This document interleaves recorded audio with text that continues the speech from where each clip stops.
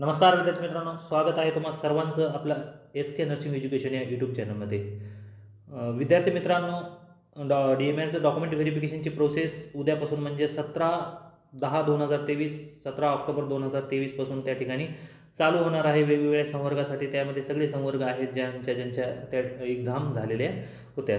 तर विद्यार्थी मित्रांनो प्रमाणपत्र पडताळणीसाठी जाण्याच्या अगोदर तुम्हाला कोणकोणत्या ज्या महत्त्वाच्या सूचना आहेत त्या संचालनालयाकडून त्या ठिकाणी संकेतस्थळावर प्रदर्शित करण्यात आलेल्या आहेत. तर खूप महत्त्वपूर्ण सूचना आहेत. या सूचनाचं तुम्हाला त्या ठिकाणी पालन करावं लागणार आहे. जर त्यांना यामध्ये जर काही म्हणजे त्या ठिकाणी डाऊट वाटला तर ते तुम्हाला त्या प्रक्रियेमधून बाद देखील करू शकतात. तर नेमके जे कोणकोणते हे महत्त्वपूर्ण सूचना आहेत ते आपण या व्हिडिओच्या माध्यमातून या ठिकाणी पाहणार आहोत.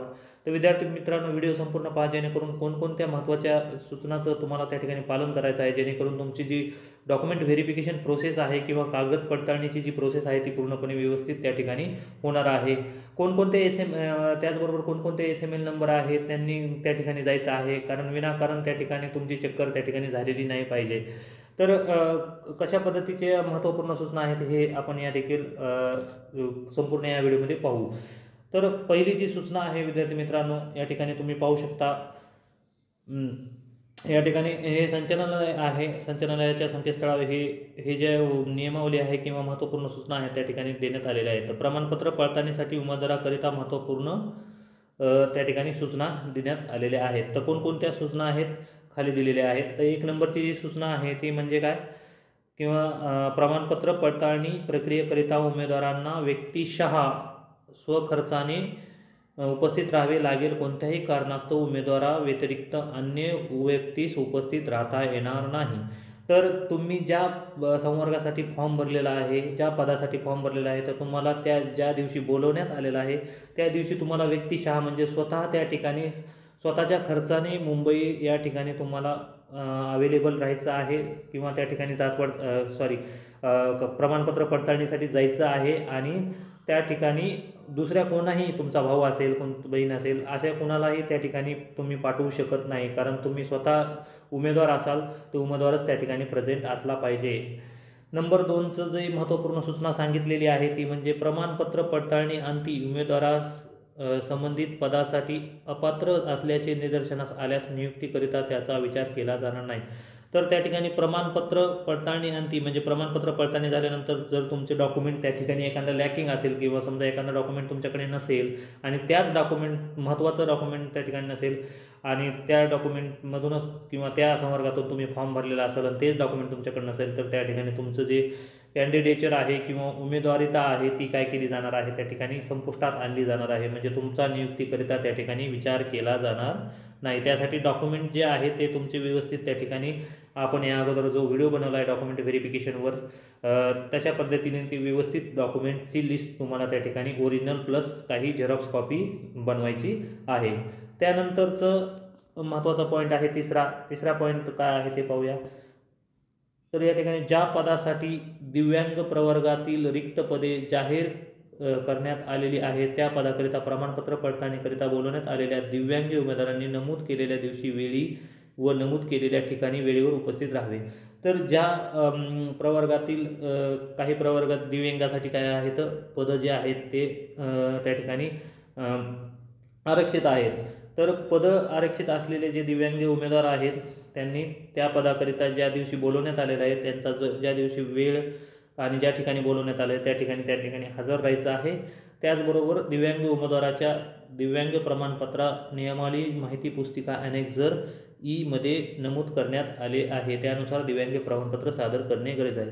तर J P W D candidates आहेत अशा विद्यार्थ्यांनी काय करायचं आहे?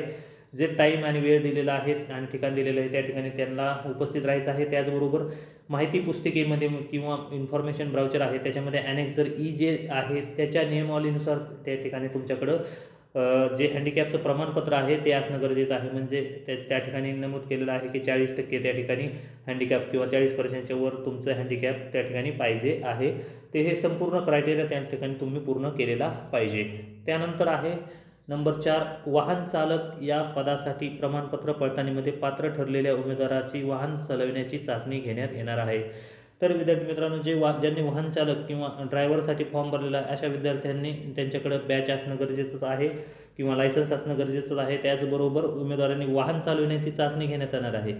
म्हणजे त्यांची लेखी परीक्षा तर झालेलीच आहे त्याचबरोबर प्रात्यक्षिक म्हणजे त्यांचं त्यांना खरंच खरोखरच वाहन चालवता येते का?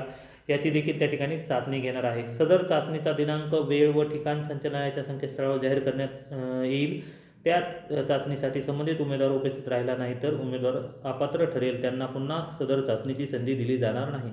तर ही जी चाचणी होणार आहे ती संकेतस्थळावर नंतर त्या ठिकाणी त्याचा जो टाईम आहे ठिकाण आहे आणि वेळ आहे ते संपूर्ण त्या ठिकाणी संचालनालयावर अपलोड करण्यात येणार आहे. तर उमेदवारांनी ज्या उमेदवारांनी ड्रायव्हरमधून फॉर्म भरलेला आहे त्यांची ड्रायव्हरची त्या ठिकाणी किंवा वाहन चालवण्याची त्या ठिकाणी चाचणी होणार आहे. आणि त्या त्या चाचणीला देखील तुम्हाला त्या ठिकाणी हजर राहायचं असेल नंतर तुम्हाला कुठल्याही प्रकारचे त्या ठिकाणी तुमचं ऐकून घेतलं जाणार नाही तुम्हाला संधी दिली जाणार नाही. त्यानंतरचा आहे. पाच नंबरची महत्त्वाची जी सूचना आहे ती म्हणजे कागदपत्र पडताळणी करता सर्व पद पदनामासाठी राज्य गुणवत्ता क्रमांकानुसार उमेदवारांना बोलवण्यात आलेले आहे. तर हा महत्त्वाचा पॉईंट आहे. बऱ्याचशा विद्यार्थ्यांना यामध्ये कन्फ्युजन आहे की नेमकं कसं जायचं होतं काय जायचं होतं. तर हा मुद्दा तुम्ही महत्त्वपूर्ण समजून घ्या. यामध्ये काय आहे की कागद पडताळणी करता सर्व पदनामासाठी राज्य गुणवत्ता क्रमांकानुसार उमेदवारांना बोलवण्यात आले. तर राज्य गुणवत्ता जी क्रमांक आहे एस एम एल नंबर आहे किंवा सिरियल नंबर आहे त्याच्यानुसार तुम्हाला त्या ठिकाणी बोलवण्यात आलेलं आहे वेगवेगळ्या कॅटेगरीसाठी बोलवण्यात आलेल्या उमेदवारापैकी जे उमेदवार ज्या ठिकाणी ज्या संबंधित राखीव प्रवर्गासाठी पात्र आहेत त्यांनीच पडताळणीसाठी यावे. तर यासाठी मी स्पष्ट सांगितलं आहे की तुम्हाला ज्या प्रवर्गातून तुम्ही फॉर्म भरलेला आहे किंवा ज्या प्रवर्गाचे तुम्ही उमेदवार आहेत उमेदवार आहात त्याच प्रवर्गाने त्या ठिकाणी उपस्थित राहायचं आहे. बाकीच्यांनी उपस्थित राहायचं नाही. राज्य गुणवत्ता क्रमांकानुसार बोलवण्यात आलेल्या उमेदवारापैकी जे उमेदवार ज्या संबंधित राखीव पदासाठी पात्र नसल्यास त्यांनी प्रमाणपत्र पडण्यासाठी हजर राहू नये. म्हणजे तुम्ही समजा अनुसूचित जातीला बोलवलेलं आहे एस सीला बोलवलेलं आहे तर ओपनच्या कॅन्डिडेट किंवा ओबीसी कॅन्डिडेटने त्या ठिकाणी जायचं नाही आहे ज्या दिवशी ज्या कॅन्डिडेटला बोलवलं आहे ज्या सत्रामध्ये ज्या कॅन्डिडेटला बोलवलं आहे त्यांनीच त्या ठिकाणी हजर राहायचं आहे. उदाहरणार्थ यांनी दिलेलं आहे ते पाहूया आपण. एखाद्या पदाकरिता पदाकरिताच्या अनुसूचित जाती म्हणजे एस सी या प्रवर्गासाठी राज्य गुणवत्ता क्रमांक एक ते एकवीसशे अठ्ठावन्न किंवा कॉमन मेरिट लिस्ट किंवा सिरियल नंबर एक ते एकवीसशे अठ्ठावन्नपर्यंतच्या उमेदवारांना बोलवण्यात आलेले आहे. तर आता फॉर एक्झाम्पल यांनी सांगितलेलं आहे की जे एस सीचे कॅन्डिडेट आहेत किंवा अनुसूचित जातीचे कॅन्डिडेट आहेत त्यांना जो एस एम एल नंबर आहे किंवा सी एम एल नंबर आहे कॉमन मेरिट लिस्ट नंबर एक ते एकवीसशे अठ्ठावन्नपर्यंत त्या ठिकाणी बोलवण्यात आलेले आहे. तर राज्य गुणवत्ता क्रमांक एक ते एकवीसशे अठ्ठावन्नमध्ये जेवढे एस सीचे कॅन्डिडेट असणार आहेत किंवा अनुसूचित जातीचे कॅन्डिडेट आहेत त्याच कॅन्डिडेटने त्या ठिकाणी उपस्थित राहायचे राज्य गुणवत्ता क्रमांक एक ते एकवीसशे अठ्ठावन्नमधील फक्त अनुसूचित जाती या प्रवर्गातील उमेदवारांनीच उपस्थित राहावे. म्हणजे एक ते एकवीसशे अठ्ठावन्नमध्ये आता ओपनचे असतील ओबीसीचे असतील बाकीच्या वेगवेगळ्या संवर्गाचे त्या ठिकाणी उमेदवार असणार आहेत. परंतु एक ते एकवीसशे अठ्ठावन्नमध्ये जेवढे अनुसूचित जातीचे फक्त अनुसूचित जातीचे किंवा एस सीचे म्हणतो आपण हे कॅन्डिडेट त्या ह्या कॅन्डिडेटनेच त्या ठिकाणी उपस्थित राहायचं आहे. तर ही जी प्रोसेस असणार आहे किंवा हे जो नियम असणार आहे तो सग सगळ्याच प्रवर्गासाठी त्या ठिकाणी लागू असणार आहे. त्यांनी कृपया सदर पडताळणी प्रक्रियेस हजर राहू नये. हेच उदाहरण इतर प्र पदाकरिता देखील त्या ठिकाणी त्या ठिकाणी लागू होणार आहे. त्याचबरोबर इतर कॅटेगरीजकरिता देखील लागू राहणार आहे. त्यामुळं तुम्हाला तुम्ही कशामधून फॉर्म भरला आहेत आणि कोणत्या कॅटेगरीमधून फॉर्म भरला आहे? त्या कॅटेगरीला कधी बोलवण्यात आलेलं? आहे कोणत्या सत्रात बोलवण्यात आलेलं आहे? हे तुम्ही लक्षात ठेवून त्याच दिवशी तुम्हाला त्या ठिकाणी डॉक्युमेंट व्हेरिफिकेशनसाठी जायचं आहे. त्यानंतरचा आहे सहावा महत्त्वपूर्ण पॉईंट ज्या उमेदवारांनी दोन वेगवेगळ्या पदासाठी अर्ज केलेले आहेत त्यांनी अर्ज केलेल्या दोन्हीही पदाकरिताच्या कागदपत्र पडताळणीसाठी स्वतंत्रपणे उपस्थित राहावे.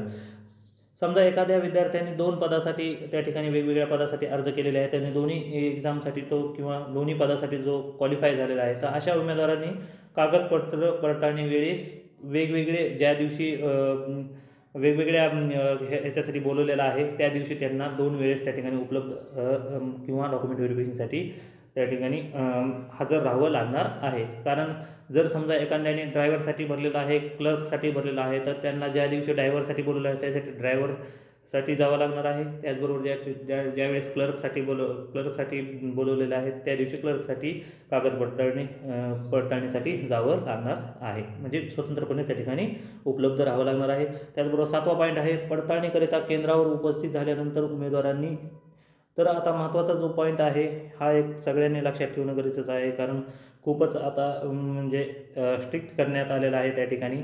तर बऱ्याच वेळेस असं होतं की त्या ठिकाणी रेकॉर्डिंग केली जाते रेकॉर्डिंग व्हायरल होते. त्यामुळे बऱ्याच विद्यार्थ्यांमध्ये संभ्रम निर्माण होतो पालकामध्ये संभ्रम निर्माण होतो. त्यासाठी पडताळणीकरिता केंद्रावर उपस्थित झाल्यानंतर उमेदवारांनी मोबाईल स्विच ऑफ करावा. म्हणजे मोबाईल आणला तरी चालेल परंतु त्या ठिकाणी तो स्विच ऑफ करायला करावा लागणार आहे किंवा सायलेंट करावा लागणार आहे. जर मोबाईल चालू करून बोलताना जर मोबाईल चालू करून बोलताना किंवा रेकॉर्डिंग करताना किंवा इतर कोणत्याही इलेक्ट्रॉनिक साधनाद्वारे व्हिडिओ शूटिंग करताना आढळल्यास उमेदवाराचा मोबाईल ई साधन जप्त करण्यात येईल. तर त्या ठिकाणी जर तुम्ही उमेद एका मोबाईलवर बोलताना दिसलात किंवा रेकॉर्डिंग करताना दिसलात किंवा एखादी शूटिंग कर काढताना दिसलात किंवा वेगवेगळ्या साधनाने जर तुम्ही शूटिंग काढत असताना दिसलात तर त्या ठिकाणी तुमचं जो उ- उमेदवार आहे त्या उमेदवारास पडताळणी प्रक्रियेतून त्या ठिकाणी बाद करण्यात येणार आहे. त्याचबरोबर त्यांना केंद्राच्या बाहेर काढण्यात येईल आणि त्यांची उमेदवार जी आहे किंवा त्यांचं जे कॅन्डिडेचर आहे ते काय करण्यात येणार आहे कॅन्सल करण्यात येणार आहे याची विशेष नोंद घ्यावी असं त्यांनी सांगितलेलं आहे. त्यानंतर आहे आठवा जो महत्त्वपूर्ण सूचना आहे ती शासन नियमानुसार उमेदवारांना विविध कागदपत्राची पडताळणी करण्यास बोलवण्यात आले आहे. प्रमाणपत्र पडताळणीकरिता बोलवण्यात आले याचा अर्थ उमेदवारांची नियुक्ती निवड निश्चित झाली आहे असे समजण्यात येऊ नये. सदर पडताळणी अंतिम गुणवत्तेनुसार निवड करण्यात येईल. तर त्या ठिकाणी तुम्हाला फक्त त्या ठिकाणी आता सध्या आहे ते तुमच्या दिलेल्या माहितीनुसार किंवा पडलेल्या मार्कनुसार कागदपत्राची पडताळणी करण्यासाठी त्या ठिकाणी बोलवण्यात आलेलं आहे. तर याचा अर्थ असा होत नाही की तुम्हाला त्या ठिकाणी नियुक्ती भेटली भेटणार आहे किंवा निश्चितच तुम्हाला बे नियुक्ती देणार देण्यात येणार आहे. अगोदर तुमचं संपूर्ण डॉक्युमेंट तुमचे क्लिअर आहेत का? ओरिजिनल बरोबर आहेत का? संपूर्ण बरोबर आहेत का? हे संपूर्ण पाहिले जाईल आणि त्यानंतरच तुमची गुणवत्ता यादी परत तयार केली जाईल आणि त्यानुसार मेरिट लिस्ट किंवा सिलेक्शन लिस्ट लावण्यात येणार आहे. त्यानंतरचा पॉईंट आहे नववा. आणि शेवटचा उपरोक्त मूळ प्रमाणपत्रे कागदपत्रे पडताळणी प्रक्रियेमध्ये कोणतीही शंका अथवा निर शंका अथवा निर्माण झाल्यास त्यावेळी तेथील पडताळणी समितीचा निर्णय अंतिम राहील. तर तुम्हाला कागद पडताळणीमध्ये काही जर डाऊट असेल किंवा त्या ठिकाणी तुमची काही शंका असेल तुमचा काही प्रॉब्लेम असेल तर त्या ठिकाणी जर पडताळणी जी समिती आहे त्यांचा जो निर्णय असणार आहे तो अंतिम राहील. याबाबत कोणत्याही उमेदवार कोणत्याही उमेदवारास निवेदन सादर करावायचे असल्यास जर तुम्हाला वाटत असेल की काही प्रॉब्लेम आहे तर तुम्हाला निवेदन जर द्यायचं असेल तर निवेदन कुणाला द्यायचं आहे? माननीय आयुक्त वैद्यकीय शिक्षण व आयुष शासकीय दंत दंत महाविद्यालय इमारत चौथा मजला सेंट जॉर्ज ह- रुग्णालय आवार छत्रपती शिवाजी महाराज टर्मिनल जवळ चार शून्य शून्य शून्य शून्य एक यांच्या कार्यालयात सादर करावे. म्हणजे जर तुम्हाला काही प्रॉब्लेम वाटत असेल डॉक्युमेंट व्हेरिफिकेशनमध्ये किंवा तुमची काय अडचण असेल तर तुम्हाला जर निवेदन द्यायचं असेल तर माननीय आयुक्त वैद्यकीय शिक्षण यांच्या नावाने त्या ठिकाणी तुम्हाला द्यायचं आहे. त्याचा पत्ता देखील त्या ठिकाणी देण्यात आलेला आहे. अशा प्राप्त निवेदनावर माननीय आयुक्त वैद्यकीय शिक्षण आयुष यांचा निर्णय निवेदन करत्यास बंधनकारक राहील. तर त्यानंतर तुमच्या निवेदनावरचे जो आयुक्तांनी जो निर्णय घेतला आहे तो तुम्हाला काय करावं मान्य असणार आहे आणि तो से त्यांचा शेवटचा हे असणार आहे निर्णय असणार आहे आणि तो सगळ्यांना बंधनकारक असणार आहे. तर हे आहे वैद आयुक्त वैद्यकीय शिक्षण संशोधन यांच्यामार्फत महत्त्वपूर्ण डॉक्युमेंट व्हेरिफिकेशनसाठी जे डी एम एलचं संपूर्ण संवर्गासाठी डॉक्युमेंट व्हेरिफिकेशन आहे. यासाठी महत्त्वपूर्ण सूचना असणार आहेत. तर विद्यार्थी मित्रांनो व्हिडिओ जर आवडला असेल तर कृपया आपल्या चॅनलला लाईक करा शेअर करा त्याचबरोबर सबस्क्राईब करा आणि अशाच नवीन नवीन व्हिडिओसाठी परत भेटूया. धन्यवाद.